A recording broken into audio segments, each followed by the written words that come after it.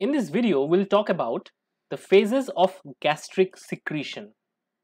So gastric secretion has three phases, cephalic phase, gastric phase and the intestinal phase. In this video, we'll look at the events in these three phases and the regulatory mechanisms that operates in these phases. So stay tuned till the end of this video. But before that, let me tell you, in the gastric uh, glands, there are different type of cells such as neck cells, parietal cells, peptic cells and each of these cells help in different type of secretions which are combinedly known as gastric secretion. For example, peptic cell or chief cell secretes large quantities of pepsinogen, a particular enzyme that helps in protein digestion. Neck cells generally secretes mucus, whereas the parietal cells or the oxyntic cells, they are known for their secretion of HCl and Castle's intrinsic factor. Now the key focus of our discussion is basically the gastric HCl secretion. So the gastric HCl is secreted by the parietal cell and about 160 millimole per liter of hydrochloric acid is secreted. The pH of this acid is about 0.8 so it's highly highly acidic and parietal cell contains large branching called canaliculi which helps or increases the surface area for the gastric HCl secretion. Now in the stomach we have a lot of gastric HCl which creates first of all highly acidic environment in the stomach which aids in protein digestion. Next the HCl also kind of neutralize the microorganisms which has entered our alimentary canal through food. So let's talk about how gastric secretion is controlled.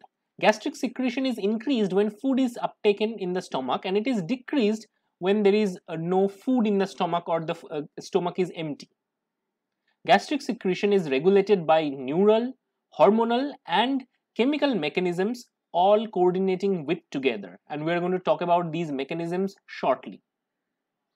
So the basic factors that stimulate gastric secretion are gastrin, histamine and acetylcholine and the factors that inhibits gastric secretion are enterogastrone, gastro, uh, gastric inhibitory peptide, VIP, secretin and glucagon from the duodenum.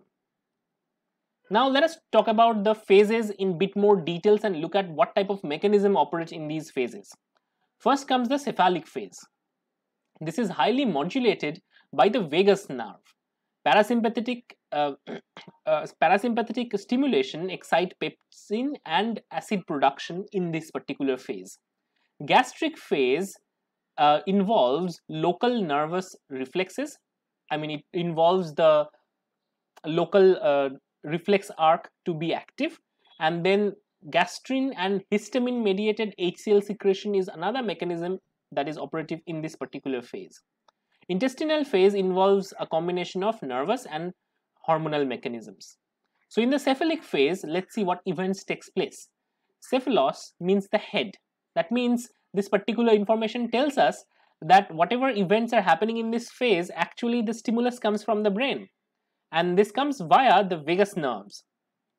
So whenever we see food, we smell food or even think about food, cephalic, cephalic phase is activated and its activation is mediated by the vagus nerve which is innervated which is innervating the stomach. So presence of food in the mouth, taste of the food, and act of chewing and swallowing the food can also trigger gastric HCl release in the stomach. Now, next step is basically gastric phase. This phase is initi initiated when the food is reaching the stomach. And cephal you have to understand that cephalic phase is a particular time window when food actually didn't reach the stomach. It's just you're thinking about the food or kind of chewing or swallowing the food. Now, in the gastric phase, both neural and chemical factors operate. For example, in the gastric phase, when our stomach is full, the wall is stretched. This distention of the stomach is actually detect, detected by mechanosensory receptors, which send a signal to the medulla oblongata. And further, there is stimulus back from the brain which leads to more and more gastric HCl secretion. It makes a lot of sense because when you have too much food in the stomach, you need to uh, secrete HCl digestive enzyme to digest that food, right? And exactly that happens in the gastric phase. There are also local enteric nervous system based reflexes which helps in gastric secretion. And last of all, gastrin, which is a local hormone, it is secreted and it also aids and stimulates the cells to secrete gastric HCl. Now let's look at the function of gastrin a bit more in a bit more details.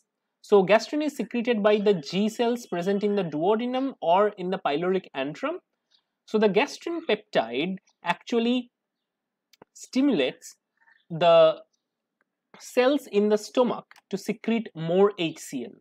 Along with gastrin, histamine can also stimulate these cells for uh, HCl secretion. So overall, gastrin is quite important. It stimulates parietal cell and it overall helps in fundal and maturation of these parietal cell. It causes chief cell to secrete pepsinogen. It increases the antral muscle mobility and that promotes actually stomach contraction. So it helps in gastric emptying. So overall, it strengthens antral contractions which ultimately leads to gastric emptying. It includes, I mean, it also regulates and modulates pancreatic secretion and gallbladder emptying. So overall, gastrin is quite important. If you want to learn more about gastrin, a video is provided in the I button. Now we are coming to the intestinal phase of the gastric secretion. So intestinal phase of the gastric secretion is initiated when the food reaches the intestine. That means food has entered the duodenum from the lower part of the stomach. So this would still allow the stomach to secrete some amount of HCl and other enzymes, but at a fairly smaller amount.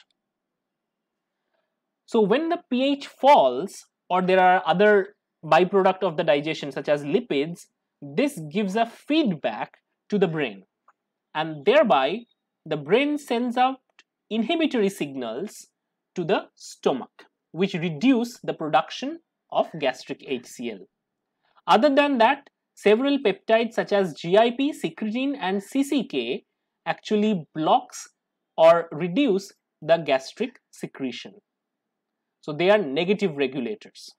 So in this video, overall we looked at the three phases of gastric secretion and learned what are the mechanisms which are operative in these three phases and how these phases are distinct.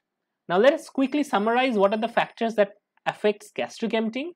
This involves volume of the milk, osmolarity of the duodenum, acidity in the duodenal contents, hormonal control and also nervous control. All of these things together act for gastric emptying. So I hope this video was short and informative enough.